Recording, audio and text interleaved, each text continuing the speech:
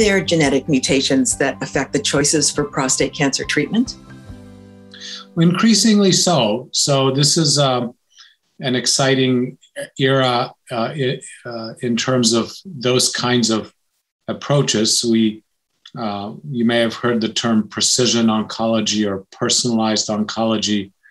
Uh, the ideas behind precision oncology is that each individual patient's tumor is analyzed in detail for their biologic differences.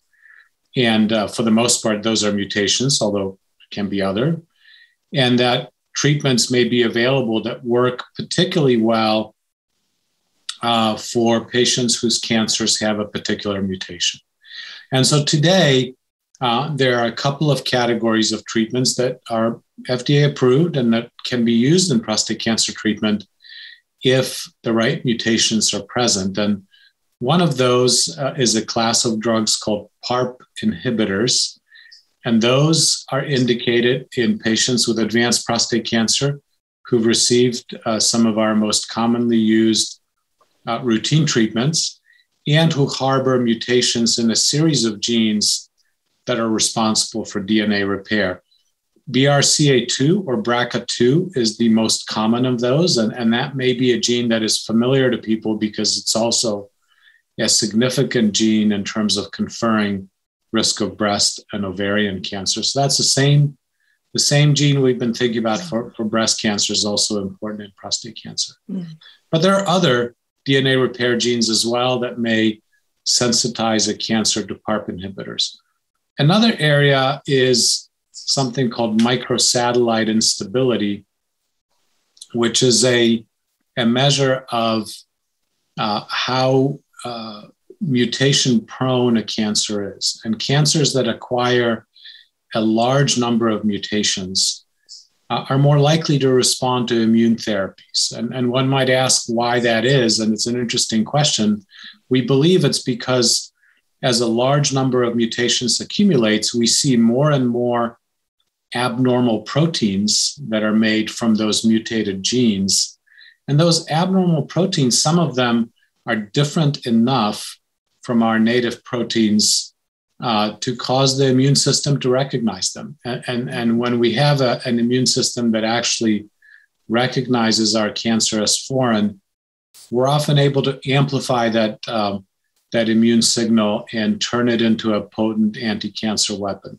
So those are the two categories of mutations that we use in the clinic today, DNA repair and this microsatellite instability, but others are coming as we develop more targeted specific agents designed for um, people with specific cancers who have specific mutations. Mm-hmm.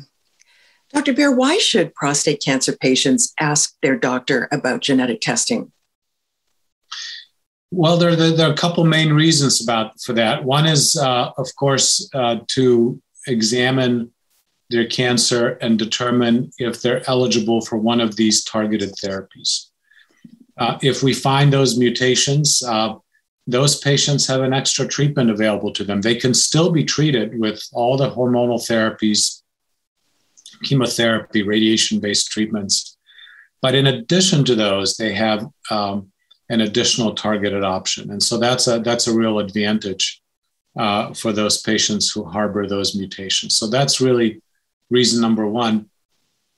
Reason number two is to potentially protect their families. So if, if a germline mutation is identified, that mutation can be passed on uh, to kids. Uh, it may also be uh, in other family members, brothers and sisters, and, and potentially be passed on to their kids important to understand that these mutations, as I alluded to earlier, are not just prostate cancer mutations. They can be passed through the mother, they can uh, uh, predispose folks to breast cancer. So, a germline mutation may be something the family uh, would benefit from knowing about. It's a complicated area. Learning about an inherited cancer mutation in the family can be very stressful and frightening. So, I wouldn't uh, say this lightly. I think it needs to be done within the context of genetic counseling and good advice about how to communicate things like that and what to do with them. We want to be able to help people reduce their risk of cancer without taking an emotional toll on multiple members of the family. So uh, it's important, and it's also important to do it thoughtfully and carefully.